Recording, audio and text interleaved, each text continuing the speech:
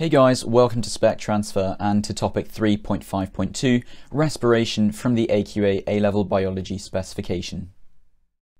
So let's start with an overview of what we've got to know. Why do we even need respiration in the first place? Well, respiration is needed to produce adenosine triphosphate, ATP, a molecule that acts as a hugely important energy source within cells.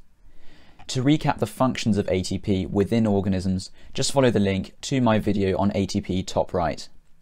So, as you probably already know, there are two types of respiration, aerobic and anaerobic respiration. When answering questions in exams, by the way, never just say respiration, always be specific and state whether the respiration you are talking about is aerobic or anaerobic. So both types of respiration have one step in common, and this step is glycolysis, so we'll start with an explanation of this. Then we will consider what happens when not enough oxygen is available and anaerobic respiration kicks in. If enough oxygen is available, respiration is aerobic, and we will then cover the different stages that make up the rest of aerobic respiration.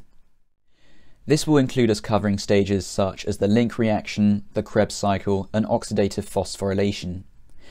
Finally, we should know that breakdown products of lipids and amino acids may also be used as respiratory substrates that can enter the Krebs cycle.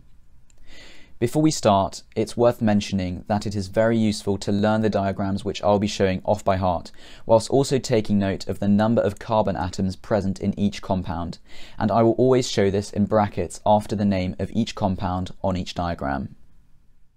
So, as just mentioned, the first stage in both aerobic and anaerobic respiration is the same. This stage is known as glycolysis and occurs in the cytoplasm of cells. First, glucose is converted to glucose phosphate.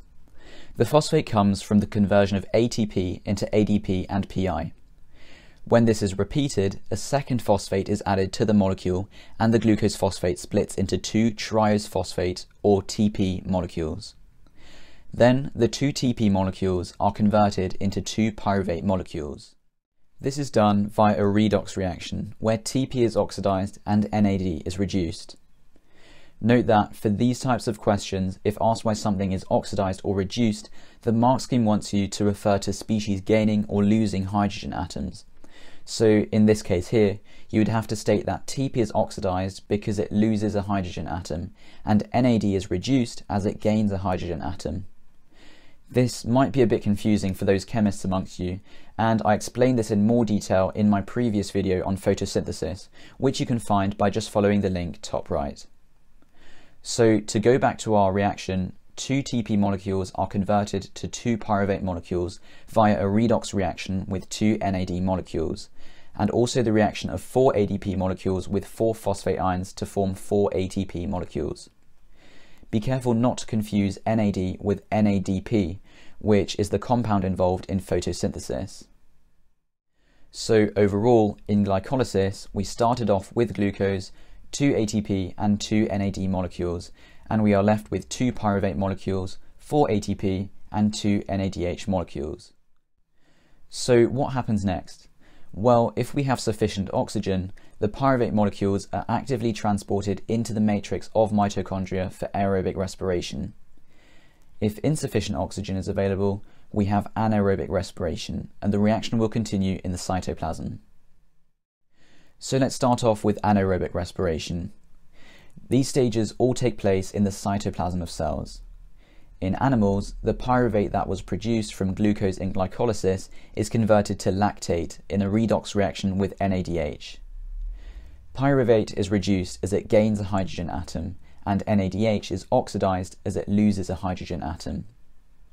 This regenerates NAD, which can then be fed back into glycolysis so glycolysis can continue, meaning that ATP can still be produced. However, as you'll see later, the amount of ATP produced in anaerobic respiration is much smaller than that produced in aerobic respiration, making anaerobic respiration an inefficient way of producing ATP in the long term. The lactate produced in anaerobic respiration must also be removed by reacting with oxygen, as the buildup of lactate can damage cells. In plants and yeast, we have a similar principle.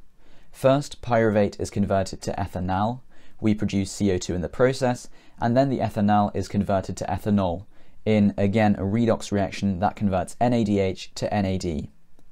As before, it is the NADH that is oxidized and ethanal is reduced. As in animals, the NAD is then fed back into glycolysis so that glycolysis can continue and ATP can still be produced. So that was anaerobic respiration, but what happens if we have sufficient oxygen available? Then we have a series of stages that occur in aerobic respiration. The first is the link reaction, which occurs in the matrix of the mitochondria. Here, the pyruvate loses a carbon as CO2 and is then converted to a 2-carbon acetate via a redox reaction with NAD. NAD is reduced as it gains a hydrogen atom and pyruvate is oxidized. The acetate then reacts with coenzyme A to form acetyl coenzyme A. So overall, pyruvate, coenzyme A and NAD enter the link reaction and we are left with acetyl coenzyme A, CO2 which is excreted, and NADH. Note, however, that this shows the series of reaction for one pyruvate molecule.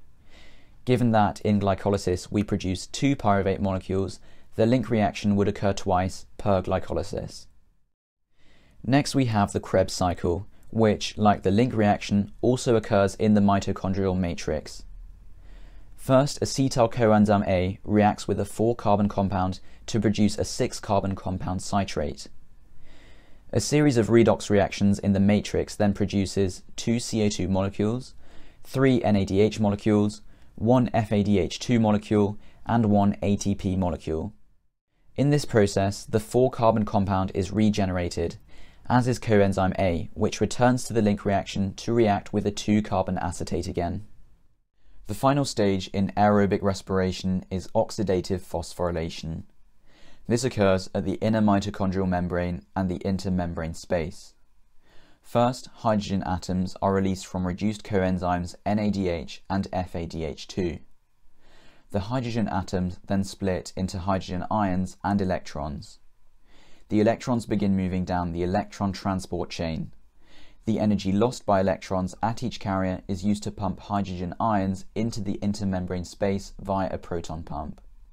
This creates a favourable concentration gradient for the diffusion of hydrogen ions into the matrix via ATP synthase, causing it to spin. This catalyzes the reaction between ADP and PI to form ATP. Remember, as in photosynthesis, the process of ATP being produced by electrons moving down an electron transport chain and the pumping of hydrogen ions and their diffusion through ATP synthase, all of this together is known as the chemiosmotic theory. Finally, oxygen combines with hydrogen ions and electrons from the electron transport chain to form water. Overall, in aerobic respiration, 38 ATP molecules are produced, 34 of which come from this final stage of oxidative phosphorylation. So why is oxygen so important? In exams, this is a fairly standard answer which you have to learn.